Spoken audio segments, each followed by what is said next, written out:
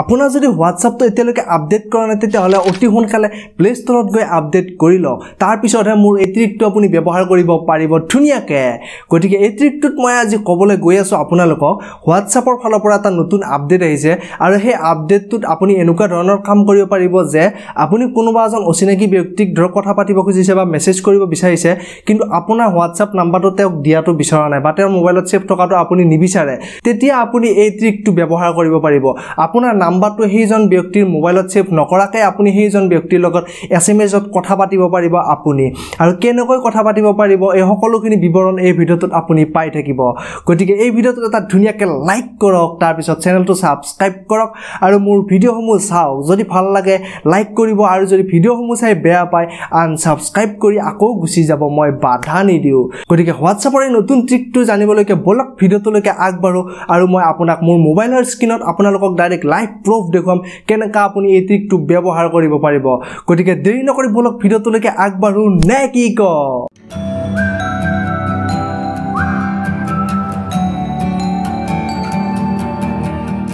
প্ৰথমতে আপুনি আপোনাৰ হোৱাটছআপটো প্লে' ষ্ট'ৰত গৈ আপডেট কৰি ল'ব লাগিব। কিয়নো আপডেট নহ'লে আপুনি আপোনাৰ এই সুবিধাটো নাপাব। আপডেট কৰিবৰ কাৰণে আপুনিতো ভাৰ্চনটো চাই লওক। টু পইণ্ট টুৱেণ্টি ভাৰ্চন আছে। এই টু পইণ্ট টুৱেণ্টি ভাৰ্চন যদি আপোনাৰ নহয় তেতিয়াহ'লে আপুনি অতি সোনকালে ইয়াক আপডেট কৰক। আপডেট কৰাৰ পিছত আপুনি ধুনীয়াকৈ আপোনাৰ যিটো একাউণ্ট আছে আপুনি এই ওপৰত তিনিটা ডটত ক্লিক কৰিলে যিটো ছেটিংছ অপশ্যন আহিব এই ছেটিংছ অপশ্যনটোত ক্লিক কৰক। এতিয়া আপুনি দেখা পাইছে আপোনাৰ একাউণ্টটো আহি গৈছে মোৰ একাউণ্টটো আহিছে চহৰীয়া ভাই। আৰু ইয়াৰে কাষত যিটো এটা বাৰক'ডৰ চিন আছে এই বাৰক'ডটোৱে হৈছে আমাৰ এই একাউণ্টৰ ক'ড আপুনি যদি কোনোবা এজন ব্যক্তিৰ লগত কথা পাতিব বিচাৰে আপুনি সেই মানুহজনক আপোনাৰ নাম্বাৰটো দিব নিবিচাৰে কিন্তু আপুনি ইম্পৰ্টেণ্ট কথা কেইটামান ধৰ পাতিব লাগে তেতিয়া আপুনি আপোনাৰ একাউণ্টত গৈ ইয়াতে বাৰক'ডত ক্লিক কৰক। কৰাৰ লগে লগে আপোনাৰ একাউণ্টৰ এই বাৰক'ডটো আহি যাব। আৰু এই বাৰক'ডটো আপুনি ওপৰত যে দেখিছে শ্বেয়াৰ অপশ্যন ইয়াতে ক্লিক কৰি আপুনি বাৰক'ডটো তেওঁক মানে মেছেজৰ দ্বাৰা হওক ফেচবুকৰ দ্বাৰা হওক বা আপুনি যেনেকৈ নহওক তেওঁক শ্বেয়াৰ কৰিব পাৰে। আৰু সেই শ্বেয়াৰ কৰাৰ পিছত সেই মানুহজনে বাৰক'ডটো স্কেন কৰি পেলাই আপোনাৰ একাউণ্টত মেছেজ কৰিব পাৰিব। আৰু আপুনি যদি কোনোবা বেলেগ মানুহৰ বাৰক'ড স্কেন কৰি মেছেজ কৰিব লাগে তেতিয়াহ'লে আপুনি ওপৰত এইটো দেখিছে স্কেন ক'ড এই স্কেন ক'ডত ক্লিক কৰাৰ পিছত কেমেৰাটো অ'পেন হ'ব। অ'পেন হোৱাৰ পিছত আপোনাৰ বাৰক'ডটো মানে সেই মানুহজনৰ স্কেন কৰিব আপুনি স্কেন কৰাৰ পিছত লগালগ মেছেজ অপশ্যন আহিব আৰু আপুনি ডাইৰেক্ট মেছেজ কৰিব পাৰিব। যদি সেই মানুহজনে বাৰক'ডটো আপোনাক ডাইৰেক্ট কিবা মেছেজৰ দ্বাৰা যদি পঠাই দিছে ফেচবুকৰ দ্বাৰা যদি পঠাই দিছে তেতিয়াহ'লে আপুনি কেনেকৈ স্কেন কৰিব? আপুনি স্কেন অপশ্যনত ক্লিক কৰাৰ পিছত তলত দেখা পাইছেনে আপুনি এইটো গেলাৰী অপশ্যন আছে আৰু এই গেলাৰী অপশ্যনটোত আপুনি যেতিয়া ক্লিক কৰিব তেতিয়া আপোনাৰ গেলাৰীটো খোল খাব আৰু খোল খোৱাৰ পিছত আপুনি তাত সেই ফটোখন মানে সেই মানুহজনৰ বাৰক'ডটো বিচাৰি পেলাই অ'কে কৰি দিলেই হ'ল লগালগ সেই মানুহজনৰ মেছেজত আহি যাব।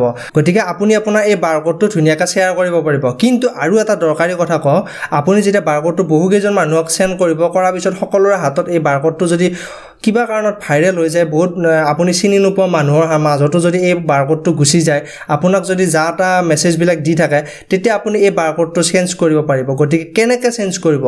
আপুনি ওপৰত দেখা পাইছে থ্ৰী ডট আছে। এই থ্ৰী ডট অপশ্যনত ক্লিক কৰক। তাৰপিছত ৰিছেট কিউ আৰ ক'ড বুলি অপশ্যন এটা আছে। দেখা পাইছে আপোনালোকে এইটো? ৰিছেট কিউ আৰ ক'ড এই এই অপশ্যনটোত যদি আপুনি ক্লিক কৰি দিয়ে আপোনাৰ যিটো কিউ আৰ ক'ড আছে এইটো সম্পূৰ্ণ চেঞ্জ হৈ যাব। আৰু চেঞ্জ হোৱাৰ পিছত এই পুৰণা যিটো বাৰক'ড আছিলে সেই ক'ডটোত যদি কোনোবা মানুহে স্কেন কৰি আপোনাৰ লগত মেছেজ কৰিব বিচাৰে তেতিয়াহ'লে স্কেন কৰিলেও আৰু মেছেজ কৰিব নোৱাৰে। কিয়নো আপুনি ক'ডটো ৰিছেট কৰিলে। বৰ্তমান আপুনি যেতিয়া নতুন ক'ড শ্বেয়াৰ কৰিব তেতিয়াহে বেলেগ এজন মানুহে আকৌ ধুনীয়াকৈ আপোনাৰ লগত মেছেজ কৰিব পাৰিব। গতিকে আপুনি ইয়াতে আপুনি ক'ডটো মানে ৰিছেট কৰিব পাৰে মানে চেঞ্জ কৰিব পাৰে আৰু। এতিয়া গম পালে আপোনালোকে এই ট্ৰিকটো কেনেকৈ ব্যৱহাৰ কৰিব লাগে?